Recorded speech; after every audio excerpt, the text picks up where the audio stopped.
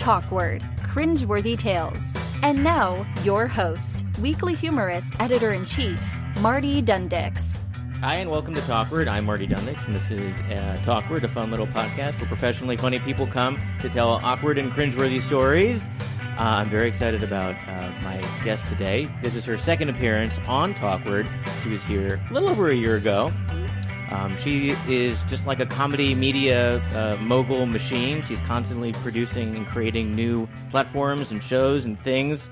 Uh, so, welcome back to Talkward, Brittany Brave. Hello. Hi. Hi. Comedy media mogul machine. I don't deserve that. Come on. You're so uh, active though. You're so busy doing all these like cool projects. The first time you came in, you were doing a project with uh, doing a thing called Catcall, Right. Yes. and it was there was a, a collective group, Sof- Sofa, so far, mm-hmm. and um, I went out to a show in Queens. Uh, Woodside. Woodside. And for our one year anniversary. Yeah, that was a great show. Thank you. Um, and since then, you do a lot of things. You do um, like a tarot card show, a QED. I do. which I still want to go to. yeah, it's fun. It's improvised tarot. Yeah. It's uh, comedians bullshit tarot readings for audience members, and then there's a psychic there. That and you in. produce that show? Yes, I came up with it and I produced it. And yeah. there's a lot of great people on that show. You, you Yeah. book that show too? I do, yeah. It's Is that um, monthly? It is now. It's bi-monthly at QED. Um, every Sunday. It's the second Sunday of the month at eight thirty, and we have a lot of returning players. We have like a main kind of cast that we cycle through, but Mm-hmm. then every other month I bring new comedians and improvisers on, and it's it's a great time. We deal with some real life problems too. So you're doing um, readings from people in the audience? Yeah, so it's- you're really reliant on that audience. Oh, absolutely. Okay. Yeah, the first show was a little bit. It took a second to crack everybody open and kind of get them like ready to go. And, what if like, no one re- comes? Then I guess we don't have a show. Has that happened? Uh, no, not Okay. yet. Fortunately, Wow. yeah, we have. Um, I think it's just Astoria is like really nice and communal, and like QED is such a great following. Yeah. Um, and I do think, it, it, by no means tooting my own horn, but I, I think like tarot's really popular now in astrology, Mm-hmm. and, that's with the cards, and that's with the people on the cards. and Yeah. How many different cards are there in tarot? Oh god, that's a good question. Is it is it more than ten? I should know this. Definitely more than 10. Okay. There's like a major arcana and a minor arcana. I should know this. I think it's upwards of like 70 cards. That feels about right. So it's more than a playing card deck. Absolutely. Yeah. Okay. Yeah. And they um and I do I I, I like that hippy dippy shit. I regret it. This is where That's everyone fun. tunes out. No. No, Um, that's where people tune in. They lean into that. I hope so. Yeah. I This isn't like boring. yeah, that's true. I just I don't care. I don't I, you know, this planet exhausts me, so I pay more attention to the other ones. Um yeah, four or five rounds, two comedians each round. I host it and we get an audience volunteer. They dump a problem, a burning question on us, and then we we we deal the cards, but the comedians do the tarot reading. And you know, So it's all just kind of made up, funny. it's bull, absolute bullshit. It's crowd work. They just it's improv too. Have they ever gotten close? All the time. Really? Without even trying. Sometimes they just read the cards very well, and then other times they're so far off it's com it's comical. And it's then just, you could also be like, "Oh, this is how they do it for real." Like you can, su- like the power of suggestion. So it's like, Mm-hmm. Yeah. you can make a a general comment, and then the person will zero in on this specificity of that generalization and be like, "Oh my god, you got it exactly right. I do have a dog named Arthur." Mm-hmm. Yeah. and you're like, "What? Yeah, like, how did that oh, happen?" Of course, that's exactly what I meant." That's exactly what I was saying this entire time. Yeah, uh, it's just funny though because they when they do get it right, they're not using their intuitive powers at all. They're just like literally, and it's so funny. So many recurring jokes every show, even with a new cast of comedians. Every time you pull a card that has swords or wands, it's a dick joke comes Mm-hmm. Yeah, up And every single time. There's a lot of naked women on the tarot cards, Right. and everyone's always like, "Well, this is a very big-breasted woman. Things, good things are coming to you." You know, it's always the same. Plenti- plentifulness Plenty- is on its way. Yeah. And then there's a chariot card. So everyone makes a joke about Gavin DeGraw and his number one hit single from many years ago, Chariot. So it's, you know, we have our own little callbacks on the show. That's fun. It's fun. And then a psychic comes in at the end and actually makes a legit psychic. Yes. So you get a legit psychic every time. yeah, it's kind of a great deal for audience members because it's like eight bucks. Yeah. and and they get like a comedy show, and we give away a free drink if you get a reading, and they get a tarot reading at the end. The psychic is like That's a good deal. It's a great deal. Um, it's very big with date nights, very big with girls' nights. Yeah. We've done couples readings. We've had drunk people come on stage and be like, I just went through a breakup. Yeah. What's happening? And it's like, oh, and it's it's just fun. And it can be it's an uplifting thing either way. Yeah, yeah, yeah. Yeah. Hmm. It's I'm fun. I'm gonna come out for that one. The last time I, I came out to Queens was for that catcall show. that was the last time you were in Queens. I don't go to Queens. Yeah, like that's true. it's I'm a I'm a Park Sloper. It's a it's far. He's the Park Sloper. I mean, everybody. Well, there's like Brooklyn, and then there's like there's like this is my Brooklyn, and then there's Williamsburg, Yeah. which is a totally different Brooklyn, and then there's Long Island City, and then there's Queens. yeah, yeah, yeah. So it's like it is far because they don't make it easy. I got to go all the way uh, into like Union Square, and then all the way over. Oh, yeah. or all the way up, and then over to like Queens, Queens. yeah, yeah, yeah.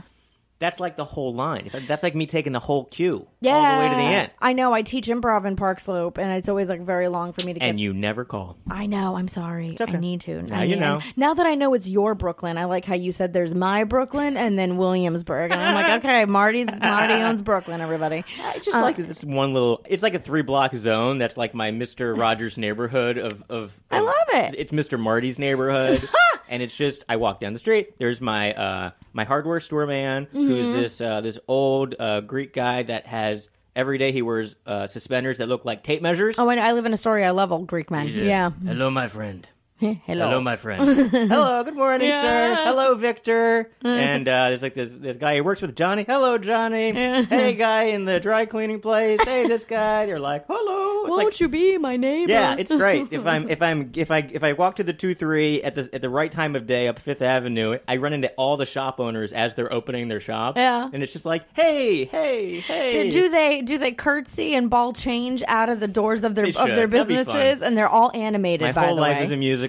There's birds and squirrels kind of dancing around me. yeah, Yeah. nice. Okay, well maybe I'll read. I've been alone too long.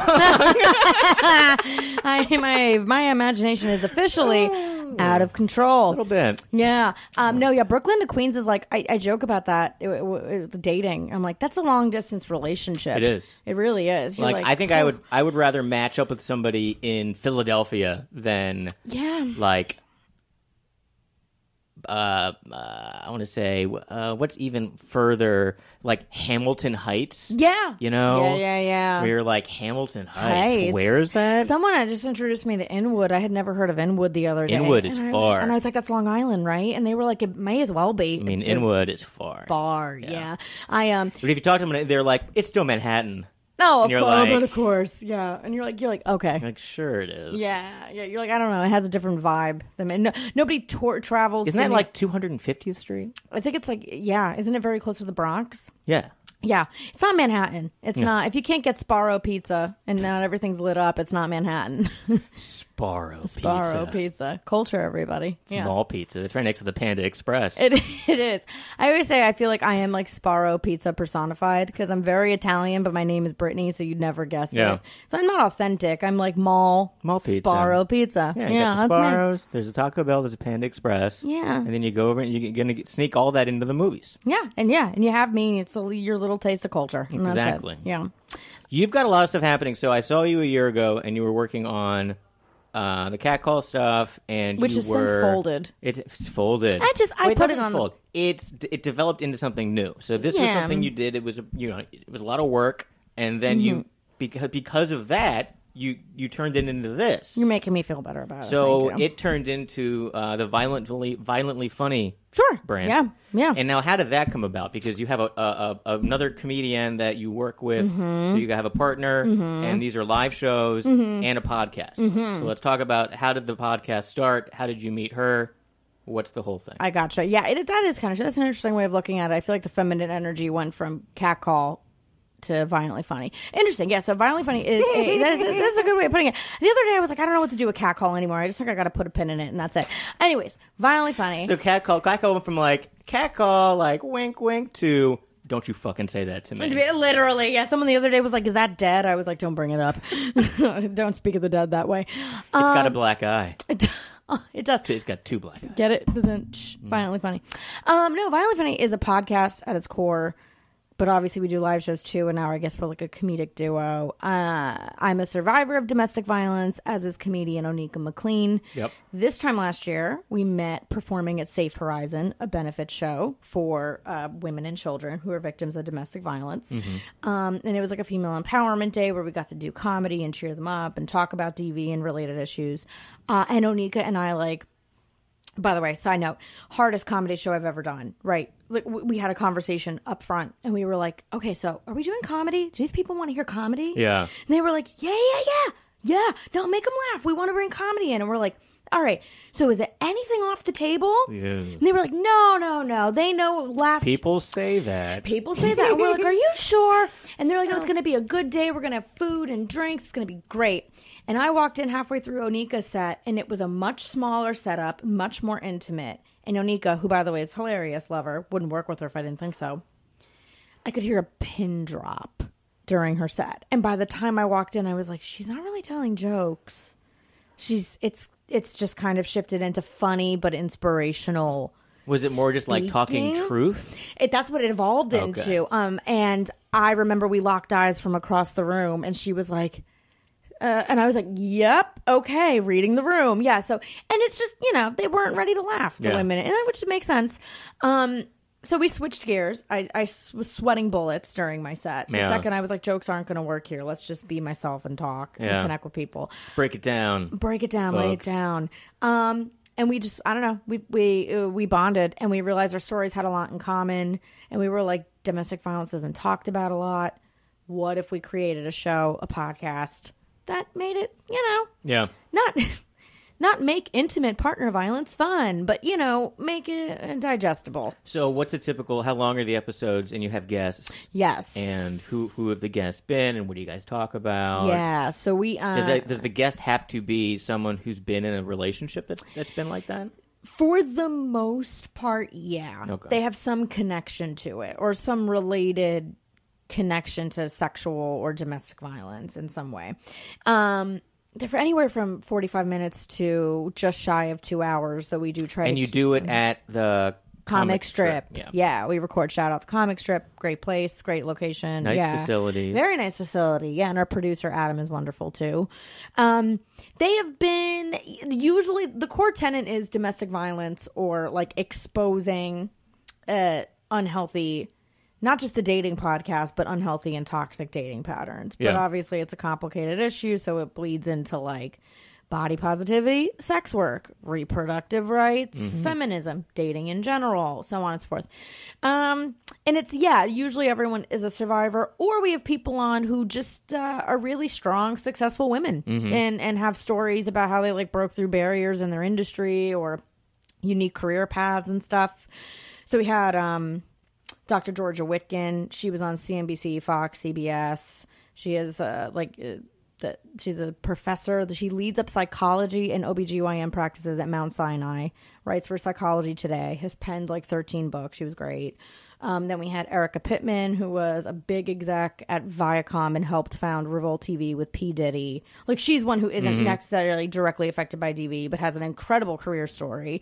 You know, and it ranges. You know, it's it's guests for a couple episodes, and then sometimes it's just me and Onika checking in and catching up. Um, but yeah, there's usually there's a, the usual tenant that brings us all together. Tenant is like. And do you have all- topics? Like, do you say this is going to be the topic for this entire episode? Is Nah. it like a one topic or just kind of like a chat? It's just a chat. It's whatever is unique to that person's story. Like I said, Mm-hmm. we've had someone who was a DV survivor, but then the conversation became a lot about eating disorders Mm-hmm. and and fat shaming and body dysmorphia and things like that. So that's a great episode because now you're you know it's related audiences, related topics. Um, and then we had another DV survivor who's also a porn star, Minnie Scarlett. She's wonderful. Interesting. And then it was also now sex work came into it and how sex, Sex work positive. sex positive Sex yeah positive. and these things are all interrelated and you know it's never a black and white issue Who am I thinking of? Uh, there is in this building. There's a PR agency, and they do PR for a f- kind of a feminist porn company. cool okay It's like created by. It's for women. It's it's like Is porn directors are women. vixen I think it's. Is it Erika Lust? i don't know who the person is but i know vixen is the website that's for it's like directed by women i think if i'm not And it's all like very natural. It's not all like you know glammed up. now so we're sharing all- now we're sharing nighttime routines Yeah. yeah um They're in the it's a- building and yeah. they have like the funnest uh, toys and topics, and I'll like walk by. I'm like, "What's going on here?" Uh, they're very fun. Yeah. and uh, yeah, they're very sex positive, and there's like images and posters that are all like very art. It's like very art, arts- Artistic. artistic, Yeah. kind of art house film, adult stuff, and you're like, "Oh, this is actually very, very beautiful, body positive." stuff. well done porn. Yeah, yeah, It's not all yeah. you know. it looks non CGI. Yeah, it's not all enhanced anal. or- Anal with my stepdad, then he punches me in the face. at Porn, which listen, It's deeper than that. It is. Yeah, because then they also talk about their feelings. I lo- yeah, which you know, if you talked about it afterwards, you would feel better. No, uh, just kidding, totally kidding. Um, yeah, we we have a sponsor on our podcast too, Plus One Vibrators. oh, nice. Again, too, very sex positive. Yeah. You know, um, just very, uh, the pleasure shouldn't be a luxury. So they're like very affordable, accessible sex toys. Mm-hmm. And they're not, I love the brand. It's just a down to earth, this is what it's for. Yeah. A little pleasure. You know, we love them and they're a huge supporter of the show. So you get to give one out every episode. Yeah, we do giveaways every episode. And That's then, nice. yeah, the girls love it. A lot of girls, we've had some people have their first orgasms through it, which is Really? always fun, or their first sex toy. And we love those things just as much too. That's exciting. So how long? Yeah. Uh, how many episodes do you have of Violently Funny? We have a season one with 10 episodes under our belt. Wow, that's great. Yes, from last year, October to December. And then we just started season two, and then we have our live recording. Yes. So let's talk about your live show. That's going to be Yeah. the thirty first Yes. at Caveat. Yes. What time? 7 to 8.30 p.m. Okay. Tickets great. are on sale now. Right now, $15 pre-sale, $20 at the door. Um, whole variety. Mm-hmm. I'm going to go. Are you really? Yeah, I'll go. I hope so. It's going to be a really good time. If it's not in Queens, I'll go. it's not in Queens. It's very close to here. I go to Caveat. I was at Caveat last night uh, for another show. Love that venue very Serious much. Matters, and I go there for another show called A Night of Humorous Readings, which is a great comedy reading shows. It's more about people that re- uh, that write comedy for the New Yorker or McSweeney's or whatever, and then they read their stuff. It's very good. Mm-hmm. Yeah. Um, and then there's another show there. Modern Whitney. There was one last night after the show. I was there called um, Sketchy History. Okay. And uh, Victoria Hoffman was there for that. Very cool. And then I saw her after at uh, the bar around the corner. She's so nice. Yeah, great. She's so funny. Yeah, Um, and you also do stand up comedy. I do. So, uh, what stand up comedy are you up to doing now? Uh, just, you know, getting up every night. Uh, are you getting up every night? Yeah. And you're going to be at Old Man Hustle tonight. Tonight. If people are listening to this live, which in theory they could be, Oh, really? if they oh, were, that changes everything. if they were at weeklyhumorist.com slash live, this is a live stream. come and stalk me. Um, people could go to Old Man Hustle and see Brittany Brave. Please stalk me. It's the mo- it's the highest form of flattery. Have you it's had the only way I'll know uh, you're comedy interested? stalkers? Before? Um, I've definitely had. Yeah, I have had people like show up at shows. I've had guys. This is a weird one. Guys that I've definitely been dodging dates with Hmm. see me post my show dates Hmm. and then show up and kind of ambush me.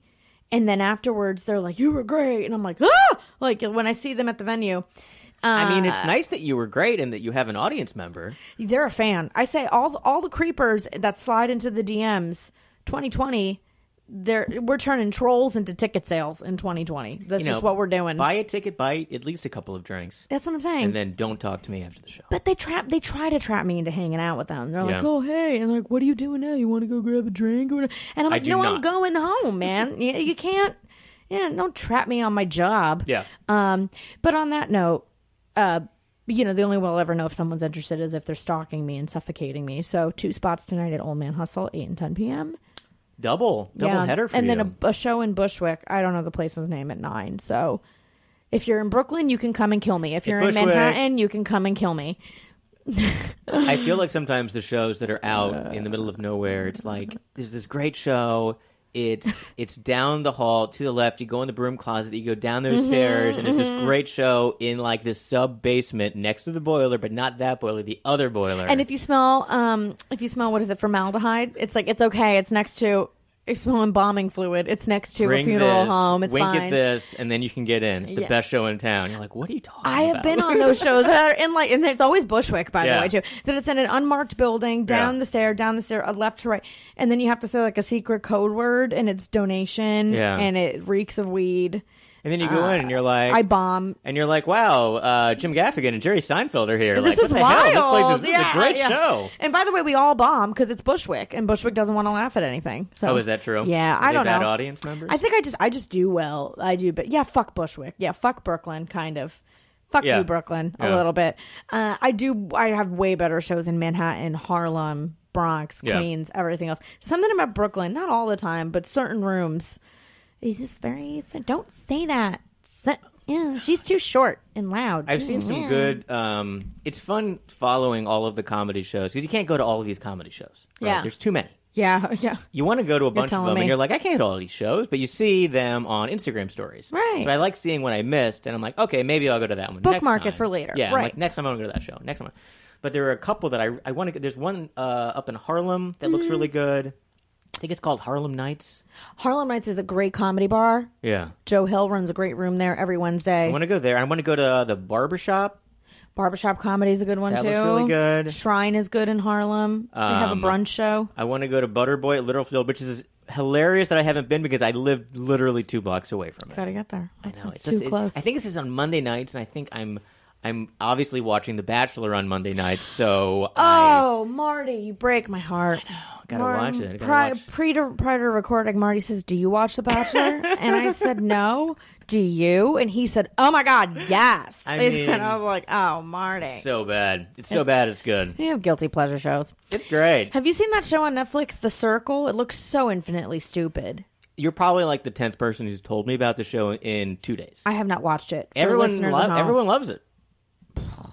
My one friend Josiah said that he loved it because he thought that it was scripted, which made it genius. And then people at his office were like, "No, no, it's not scripted. It's reality." It's reality." He goes, "There's no way this is reality." So because of that take, I want to see it, just because it Just to see what it it's like. seems so like it couldn't possibly be real. So The- I want to watch it because of It that. seems like a total what farce of itself. It Yeah. seems like a total yeah.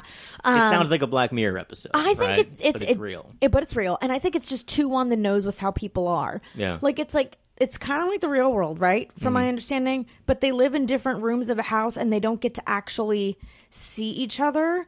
They only interact through what likens. Uh, it's similar to like a dating app. They Okay. only interact through an app, like a chat. a chat. Okay. and they only share what they want and connect on that app when they want. Could and I'm like, this is too on the nose. Could one of the members just be an AI bot, like a chatbot? They're probably all Wouldn't that be great if they were all chatbots? Like this is the Target.com chatbot. yes. This is the you know Esurance chatbot, and they're all just talking to each other, and we're watching it. yeah, that's it. I think so. I think it's everyone in customer service at FedEx. Like Yeah. I think it's that's what it is. That's who they got and who they pulled. That'd be funny. or it's the people who, I'd watch that show. who are going to replace us in 10 years, the robots that Yeah. are going to replace 10 years, 2 years. Um I yeah, you know, it's not for me. It's a little too millennial Yeah, for me. I think it's great. Yeah. I'll watch that. Okay. I watched all of the Medical Police.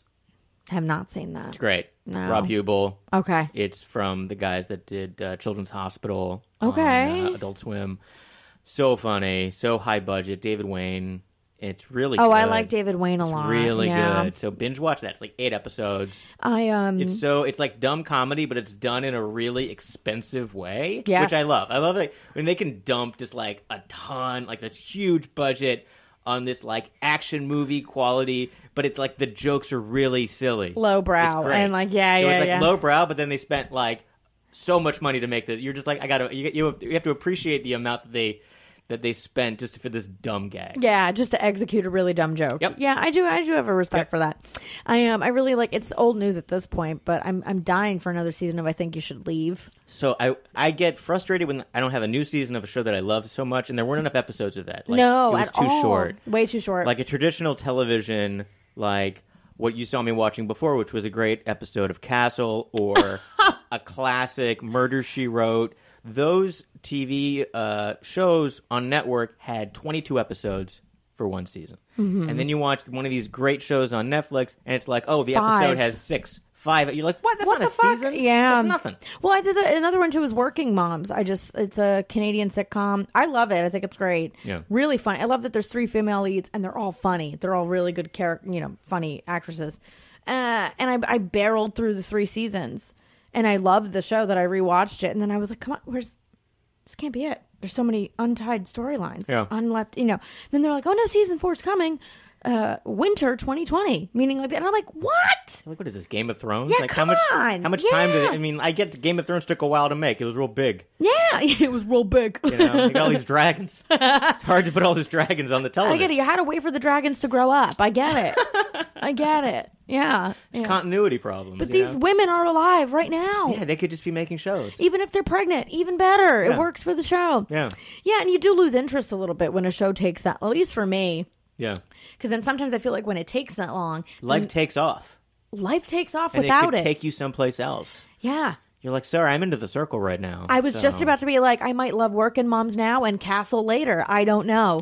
Have you never seen Castle? No, I didn't even know about it until tonight. and I thought it was starring Michael J. Fox, but I realized I don't have my glasses No, it's a. Nathan Fillion, Sure. who's wonderful. Uh, Which Firefly. we have concluded is jacked Michael J. Fox.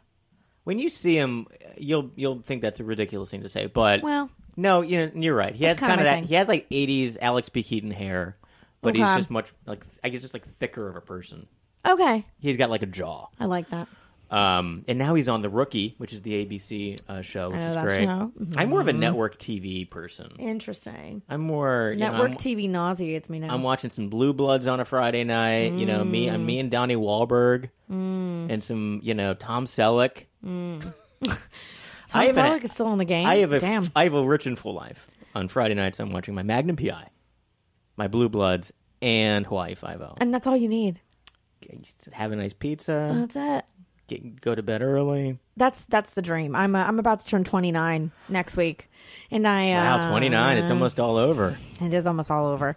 It's a lot going into your last year, of your 20s. Yeah. Now, when I do stupid things, I'm just like, all right, we only got we only got a year left to where this is even remotely justifiable. Get your shit together. I don't even remember my 20s anymore. I don't. I, It's a I- blur. I, feel like I've been in my 20s for 40 years. Yeah. I'm like, okay, you know, like long. even when I was 23, I was like, okay, I'm like, I'm 50 on the inside. Like, let's just. It's nice getting older. You definitely care less about a Everything, lot of stuff. everything. You know? yeah, yeah.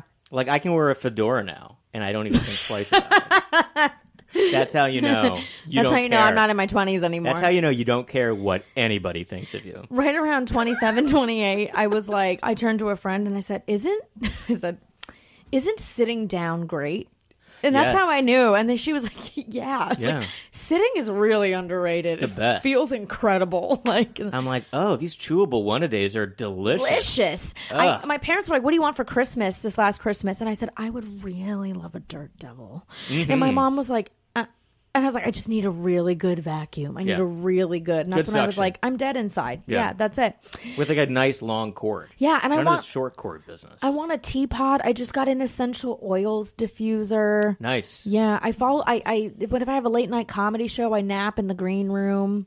You know, I sit out of fights a lot. Too. Like you know, things where you're like, that makes me really angry, and then two seconds later, you're like, I'm out of out. breath. Yeah, Opt out. Opt out. That's Unsubscribe. Unsubscribe. Yeah. you're like, I can't. That's that's a young woman's game. Yelling about that. Like I can't. We have a. I have a family chat, uh, as many people probably do on their phone. So on my iPhone, there's like a group chat Mm-hmm. that's like my parents and my two sisters, and it's a lot of my sister's kids and just like my mom texting stuff, and my mom will write specifically to one of the sisters on the group chat. Like instead Mm-hmm. of writing to that sister, it's to all of us. yeah. And sometimes it'll be a lot of stuff, and and my dad just doesn't want to see all this stuff, and my dad will write unsubscribe, which I think is great. Oh, that's so good. He's over it. Unsubscribe. Yeah. Oh, he's like, what is this? And his phone just starts like blowing up. I'm like, it's just the family. He's like, ugh. Oh God, yeah, yeah, that's hilarious. funny. Yeah, my mom just goes whenever my mom it doesn't want to text anymore. She goes, "Okay, bye bye," is what she just texts, and she signs every text Karen at the end. Does she really? It's her auto signature. It says Karen. Like I wouldn't know that it was That's her. great. Yeah, and it just it adds a weight to everything she I says. think I saw a little bit of Karen action because you have just spent came back from a month in Florida. Yeah, Miami. So nice. Yeah, Where in Florida were you? Miami? I didn't even know that. I thought you were just making a, a sound like Miami. I am Miami. Miami. But you were saying Miami. Miami, Miami, Okay. Florida, 305, home nice. home of Pitbull, um, Mr. Worldwide. In case you haven't heard of him, Um, and your mom's down there, mom and dad are down there. and I think I saw her doing your hair. Sure, that was one night. Yeah, she was doing my hair. She's a cosmetologist. does she do a specific fun style that you don't normally do? No, she like redid like I put a little red in and Okay. like dark brown and that Nice. was it. Yeah, I just take advantage of having. I was fun. like, you know, I recommend getting a mom who's a cosmetologist. And if you're you an have any only control. child? Only child. That's nice for you. rotten. yeah, spoiled, you're just rotten. spoiled. Uh, No, I'm not at all. Not even a little bit. Um, yeah, only child. I just, I, I just, when I was home for the entire month, I just felt like I was constantly third wheeling for my parents. Great. Yeah, so you learn a lot. You Yeah. stay home. Uh, you don't have to buy any food. no, it was like a nice month. month. Yeah. It's just whatever's in the fridge. You're just like, oh, it's like an open, it's like an open buffet here. This is great. Yeah, and the only t- turn off is I just, you know, the trade off is I just have to teach my mom how to double click on a mouse Yeah. eight times a day. She's like, Brent. And I'm like, I like to cook for everybody when I'm home. I, I like to do. A lot I of, bake for everyone when I'm what do you bake? Everything. I baked a bunch of cookies, cheesecakes, all What's your that. specialty? I make a double layer cheesecake. So around the holidays, I did. How do you make cheesecake? um, cheesecake's like Is eh, that cream cheese? lots of cream Just cheese, a lot of cream cheese. lots of sugar. Yeah, Yeah. Um, and then it's a double layer. So I do the top layer is pumpkin pie, and then the bottom layer is cheesecake. So it's like a double. Mm. It's pretty good. And that's a then- store bought crust base. Nah, it's homemade crust. Homemade crust. Is yeah, that a graham, graham cracker? graham crackers and everything. Yeah. Wow. Mhm. Cookie crust. Yeah. That sounds None of that store bought bullshit. I'm not an authentic woman in a lot of ways, but that is one. I do apple pie. I used to do apple pie 100% uh, from scratch. I make my own crust. And I do the whole thing. You have to use like lard and it takes forever. And Mm-hmm. It you know what? Store bought apple pie crust is great. Yeah, it's fine. If you it's if it's not the thing you want to dedicate time to, it's not I did it for a while. I'm like, this is such a waste it's of a time. time. yeah. Yeah, it's so true. It is. It's such a waste. And then you don't even want to eat it. Doing your own either. apples, you got to do your own apples. Yes, you do. So you peel the apples. You, I have an apple peeler core that I Mm-hmm. use, and then you got to do the whole with the seasonings, and that's fun. Mm-hmm. And then we dump uh, Grand Marnier into it. The families they like they dump in the booze and the Grand. They do the whole thing all The whole thing is alone. soaked Ah, in alcohol. Yeah, Yeah. it's. It's interesting because it's like I, I really do like to bake, but when I'm not in the mood to make it, bake, it, it's evidently clear because somewhere along the line the recipe gets just a little fucked up, Yeah. like a little bit. Yeah, You're like, oh, I forgot that one thing. I always, when I do anything, I'm more of a. I like to cook. I don't, I don't like to bake because I'll forget that thing you need, like baking powder. yeah, you know, or salt. or, you'll put baking soda instead of baking powder, and then you can't figure out why like the whole cake is inverted or Yeah. whatever, and you're like, oh, there you go. A couple years ago, my mom is an incredible cook, hates baking. Mm-hmm. She's the store bought one, and I'm like, no. Uh, and we were at Thanksgiving, my whole family in Jersey. They flew up. And we were doing. She had this whole pumpkin muffin something recipe. Pumpkin muffin, Pumpkin muffin. It was Yeah. supposed to be, but she is doesn't have the precision for baking. I feel like cooking's more like intuitive. Yeah. Like okay, put a little more. And she just goes, "We're making it." I go, "Where's the recipe?" And she's like, "It's up here." yeah. And I was like, "That's not valid. Where's the recipe?" So she goes, "It's two eggs," and then she goes, "There are three. I don't." And I'm like, "Mom, Eggs are important. Eggs are important. We can't kind of fuck this up. And you know, so I'm going, this is going to be a disaster. And sure enough, it was. Yeah. And it was like the laughing stuff. Like they were like a pasty, disgust. They tasted like pumpkin Play Doh, is what they came out and tasted like. Mm-hmm. Uh, but then my family's full of jokesters. So as people started trickling in for Thanksgiving weekend, we were like, "Ah, have you tried Aunt Karen's muffins? and they were like, no. And we were like, oh my God, they came out so good. So good. And then filming everyone's reaction as they take the first bite and they go, what the fuck? They lose a tooth. Yeah, it's stuck to the roof of their mouth. Yeah. Um, Oh, do you yeah. have a awkward or cringeworthy story?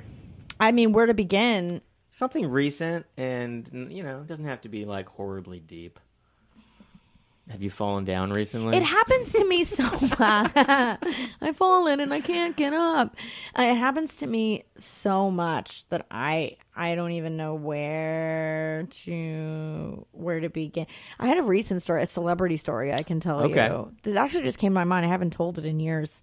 I was uh, I so I used to work in the music business, right? Right. And when I was an assistant, I worked this premiere party. They had me working after after work and just checking people in, you know, wristbands, all that kind of stuff. And I was sick as a dog over it. Like didn't want didn't want to be there. Was really really sick that night. I remember, but my boss sent me to work for an extra two or three hours. And there's some famous people, some people that I recognize, and I'm checking them in. I'm like dejected. Uh, and all of a sudden, I think the event's underway and the checking in is done. And in comes a, a, Robert De Niro Oh. comes at the check-in table, and The Irishman. the Irishman, yeah, he's not Italian at all. He's Irish. You know, in real life. Is he? Yeah, someone told me that. Biggest letdown of my entire life. Interesting. Anywho, I digress. There's free candy at this event. I was slouched over, like snot hanging out of my nose, so sick. I had a mouthful of peanut M and M's, and Robert De Niro goes, "Hello," at the table, and I go, "Huh?" and he goes, "Have you seen my wife?" And I said, "I don't know your wife," and he went, "Uh," and walked in. Who is his wife? Um, I don't know who his wife was at the time. I still don't know who his wife was. But it's very funny that it's like the biggest movie star in the world, And, you, there was you like did not have the answer for snot him. and peanut M and M's, and I didn't give a fuck like at all. And I just and he assumed I would know who he was, which that is was your, really funny. That was your big break. and I missed it, and that's missed it. and that's you know why I'm a stand up comedian and not an actress. No, um, but I just think it's so funny that he goes hello, and I go ah, and he goes, "Have you seen my wife?" Have you seen my wife? And I go, I don't know your wife. And I think he it's a funny, "Uh, it's a funny typical old man question to ask a stranger. Like, do you know where Where's I'm my wife? To, Where- where am I supposed to be? "He? Do you have my my wife has my wallet? Where is she? Yeah. So When I was working, I guess uh, that's not that awkward. no, but it's fine. It's funny. It's funny. You know, yeah. when I was working at Letterman, uh, when I first moved to the city, I worked in the audience department, and Yeah. I dealt with the audience, but also I would sometimes deal with uh, guests and stuff. So it was like people would come in, they would get out of their cars, and I was Mm-hmm. on the street corner, and there was the stage door, which was beyond the Hello Deli where Rupert Jee used to be, Mm-hmm. and I was dealing with like a line of people, and this big black SUV came out, and it stopped, and the door opened, and it was. Um, Oh God, who was I? Was, I would say Maria Bamford, but it wasn't Maria Bamford. Who am I thinking of? Uh, it was Amy Sedaris. Amy Sedaris gets out with this big poofy dress, and she's uh-huh. very, very tiny. She's about your height or Really? shorter. I yeah. didn't know. She got into his lunch. She goes, "Am I supposed to be talking to you?" And I was ah! like, "I was like, hello." I don't think so, but I'm going to find someone who you are supposed to talk to. And she was like, "Okay." We just- she was like, "She was like, hello. Am I supposed to be talking to you?" Yeah. Like, I'm like, "Hello, Amy Sedaris." No, but let me let me get someone for you. That's funny. It was just like she was so delightful and, and friendly. yeah. Yeah. Hello, stranger with a clipboard. You look like you're like you work here. And I'm like, know. I kind of, I guess I, I, I'm kind of authoritative with my clipboard. This Yeah. is me. I'm like 23. Yeah, people think clipboards have the answers of the world. You see someone with the clipboard, I'm a and you're 23 year old, probably wearing cargo shorts we love it. with with my little clipboard. yeah, it was fun. that's awesome. Yeah. truly, Marty, I just feel like so many awkward. Not not a lot embarrasses me. I, it takes like a really a lot for me to for me to really be like humiliated. So for like, it's, which is probably So tell me about the show. about uh, what's going to be on the show on the 31st at Caveat? oh yeah, Violently funny, yeah, and it's you and what is your partner's name on the? Onika McLean. Onika McLean. Yeah, and she also does stand up. yeah, yeah, yeah. And it's going to be you two hosting. Yes. Yeah. And then how many guests? Oh, so we have a whole variety show planned for everybody. Tell me about the variety. show. Oh, I would love to. Um, it's me and Onika b- b- bullshitting up at the top, which is how every episode begins. Um, it's just us yelling at each other and riffing off each other for about 15 to 20 minutes and catching up. Uh, we have someone from a portion of the proceeds for the show are going to Safe Horizon, where we met. Okay. DV nonprofit, leading nonprofit in the country as well too. Um, someone from Safe Horizon is going to talk, so we're going to do a brief interview with them about just like a normal uh, podcast recording, like Yeah. a live recording. Um, and then the show gets fun, and then we have a panel of comedians who also identify as survivors, and we're going to all go around and tell a joke that we've written about domestic violence because we all have them, and Mm-hmm. we don't, we can't quite. You just can't always like we know. I don't know if I'll be able to tell those jokes tonight. What's a at Old Man typical What's a typical domestic violence joke? Is it like something like looking at the bright side of Yeah, or about very retelling- traumatic thing? retelling your experience, but doing it in a funny way because you're a comedian, so you see everything Right. through a through a it's jokeable Yeah. way. Um, like I, you know, I have some, I have all this stuff about how I like older men and I like angry men that I can fight. I like really fighting with my boyfriends. So I have some pun- like the punchlines, like I have a black belt and white men and stuff like Ah. that. Yeah, and like stuff like that, or like uh. When you meet someone named Brittany, you either want to take him to the mall or punch him in the face. If you're my ex boyfriend, you got to do both. Oh. Lucky guy. Yeah, I know. It gets an oh, but I love it. I love that joke, you know. Um It's empowering. eh, it is. It's um Well, you're taking it back. yeah. Um it's something about I, Because I saw something, and I just love that I'm just talking all over you. I'm sorry. Oh my God, no. But I saw something on Instagram where you were documenting uh, re-upping a, a restraining order.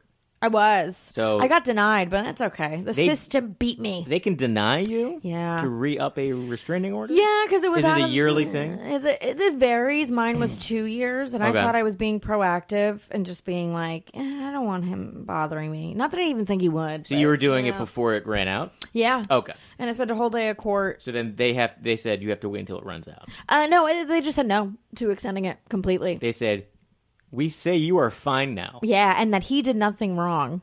To which I said to the male judge, "Tiny penis, you have. You have a tiny, tiny penis." Wow. No, I didn't. I, I almost did though, but um, That seems like a broken system. it was a little bit broken. Yeah. Yeah.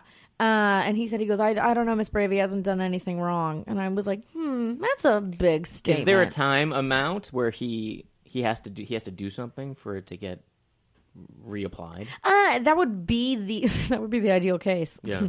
hey, can you just come and hit me one more time so I have a reason? Just pull my hair a little bit. No, I'm kidding. Um, it's no, it's it, it's it's just the logic contradicts itself. Yeah, it does. Because it was like, well, he hasn't done anything wrong, and he didn't. And I'm like, well, he because he couldn't. He had a restraining order exactly for two years. Like, so kudos to him for following the Right, rules. right. You know, once in his life. Right. And then Um, since he did nothing in 2 years because he wasn't legally allowed to come near you, now it expires. Yeah. And now we hope for the best. That, that's exactly what he said. He said, I said, but We what happened? And he goes, I don't know. I can't control what happens out there. Wow. And I was like a plague on both your houses, and I stormed out of the courtroom. good. yeah, I was like, I was like, this is an outrage. That is that is an outrage. That doesn't Yeah. really make. That's a little backwards. It's like crazy. It's crazy too when you go to get a restraining order. There's like it a lot. I think it's because the system is so saturated too. yeah. And I get it. There's there's like a girl next to me, and she's like, "You're getting a restraining order." It's like deep in Brooklyn, the courthouse, and I was like, "Yeah." And she's like, "I'm getting one because my ex boyfriend is dating a new bitch, and I'm gonna get a restraining order on his new bitch, so I could go and beat her up, and she can't do nothing about it." Uh uh uh. And then I was like, "What?" And she's That's like, logic. yeah, and she's like, "Why are you getting one?" And I was like, "It's not the same. No. It's just a different situation." Yeah. you know. Um. That was less. Uh, there's less uh, conniving planning, Yeah. f- forward thinking yeah. of what the plan. That she was kind of playing a chess match. A little bit. Yeah. Yeah. Yeah. That's like I. I could see how that's bending the law a little. She had she had a couple of moves planned. it was very funny to see her walk out of the courtroom though and go, "I didn't get it. Fuck." And then I walk and I was like, Hmm.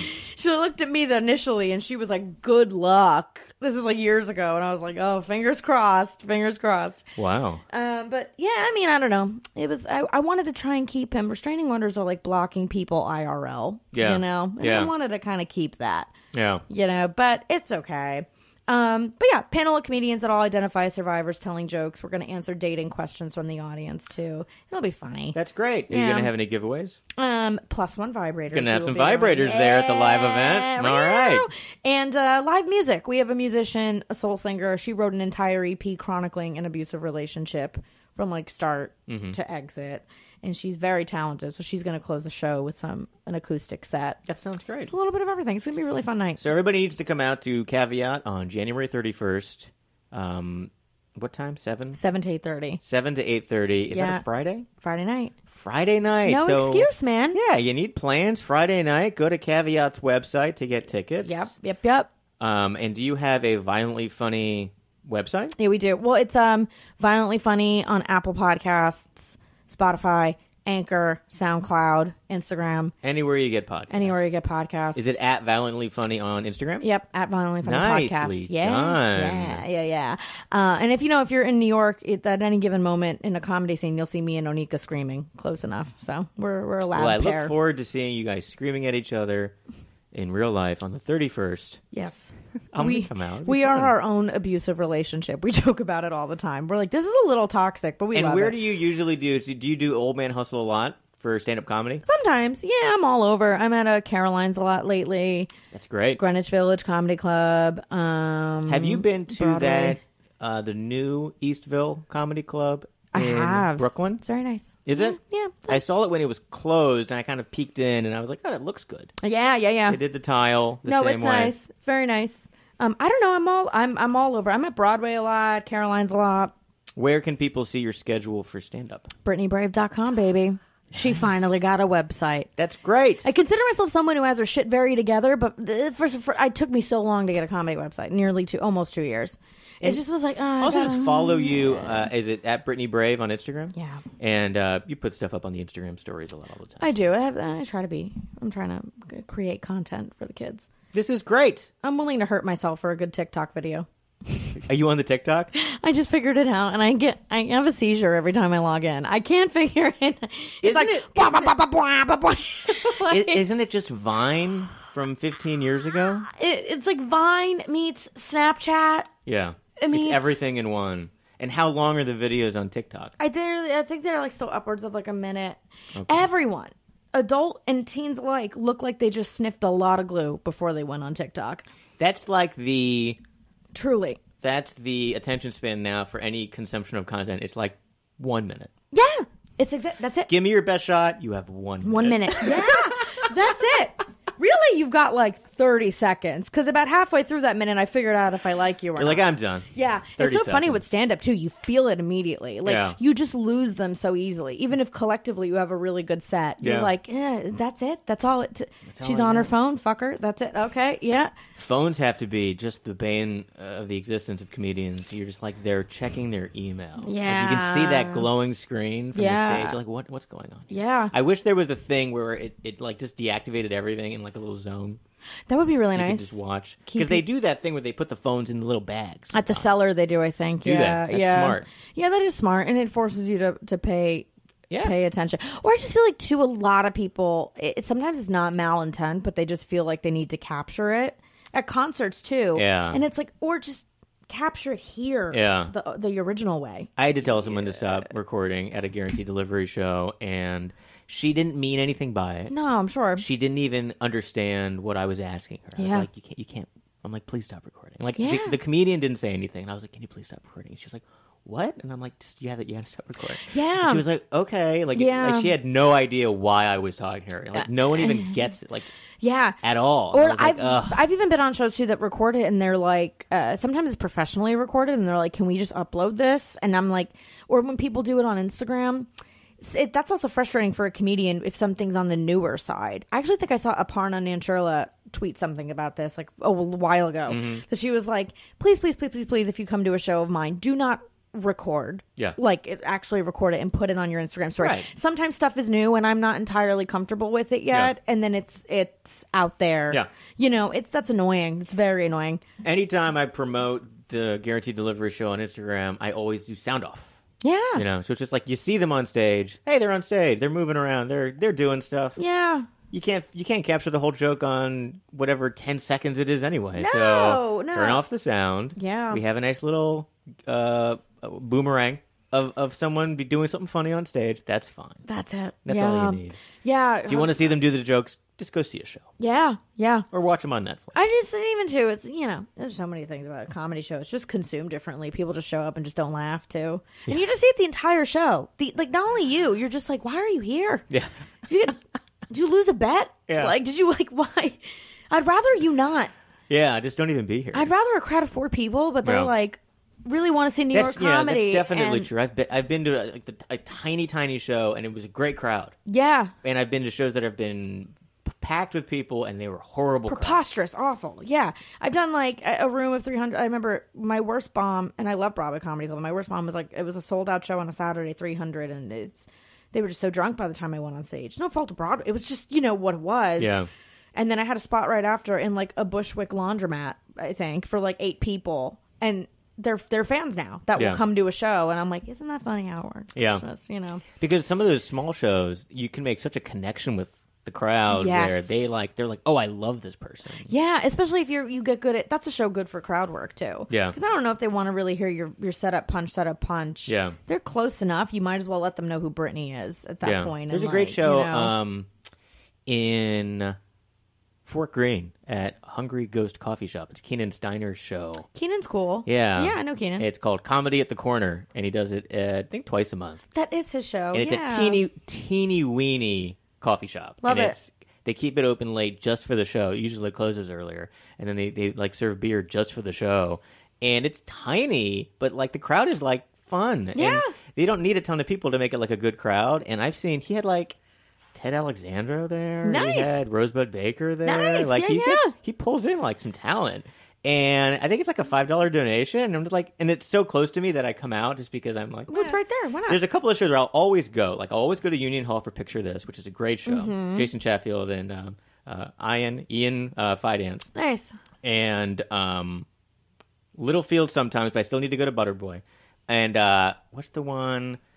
Um, up, up, up, up, up. Cherry Tree Bar Yeah. has the best back room for comedy, and you can do the Bad News show, which is run by uh, Carmen Lagala, and then you can do Thursdays Airplane Mode, and that's uh, Jeffrey Airplane Mode is good. Jeffrey Asmos. Yeah, and also um um Black Guys, Tyler Richardson. Tyler Richardson, Who I Oh, love. I've done so that show many times. He's Very so fun funny. show. Yeah, that Saturdays at uh, Cherry Tree once Yeah. a month. Yeah. But that place is so much fun, and it's like small, but you can get pizza, and it's like the great, like classic brick back wall, you know, Yeah. like comedy wall, Yeah. and like has this like deep red spotlight. You can't put comedy everywhere. It's not like music Yeah. where people are like, "Oh my god, beautiful acoustic singer songwriter," you know. So Yeah. it's like you really the conditions have to be have to be right. Yeah. Like the random things could take somebody out of a comedy show that you don't even know. Yeah. Like it's like even like Greenwich Village Comedy Club. I've always had a good time there, and I think it's the way the room is set up. Yeah. It's an older club, but it's like low ceilings, Right. dim lighting. You need to have like this intimacy. Yes. Yeah. Yeah. They got to feel like they're in it with you. Um, yeah, I've done apartment shows. Some apartment shows are so fun too. Yeah. People are just like sitting around getting high, having a beer. Yeah. On a ca- and you're like, oh, I can actually really maybe like try some new stuff and like Yeah. lean into it here with people. Because they're open. They're open. They have no expectations. no, no, no. Yeah. It's like an interesting thing as a young comedian to be like, how do I prepare this for when I'm older? And Yeah. knock on wood, playing bigger venues, theaters, and New wood. New wood. That's what I call the guy that I just started dating. Hey, Oh, my. No, I'm not dating anyone. Uh, no time, and um, no, no time, and no interest from anyone. Okay, Yeah. no, I'm kidding. Um, uh, how do you prepare as an as a young comedian for your like? You, you get the, you get good at the laundromat shows. Yeah. And the intimate pizzeria shows, and then it's like that incremental. So if you could do that, then how do you capture that feeling in a room of 300 Yeah. or in a theater and how do you you know That's yeah, that's the real test of like that next step where it's like, yeah, you can kill for you know twenty five people, but then they throw you in, you know, 300. Radio City, and can you you know how how do you handle that kind of a crowd? Right. Can you hold can you hold your shit together? how yeah yeah. a good joke can travel can travel throughout a, a big enough venue like Yeah. that yeah but then also sometimes too big crowds when they're the right crowd sometimes when they're bigger there's a natural good energy because it's a big show They're excited. they're excited they're, They're like ready- oh a yeah. ton of people are here we're in it yeah They're, they're they are there to laugh. yes exactly Mm-hmm. Like when you have a crowd that's there to laugh, that's a great audience member. Exactly. you know? I've also had really small crowds too, where it, you could tell the fact that it was a small crowd was like detrimental. Mm-hmm. Like the people that were there were like, "Why is there only ten people here?" And Yeah. then like that too. So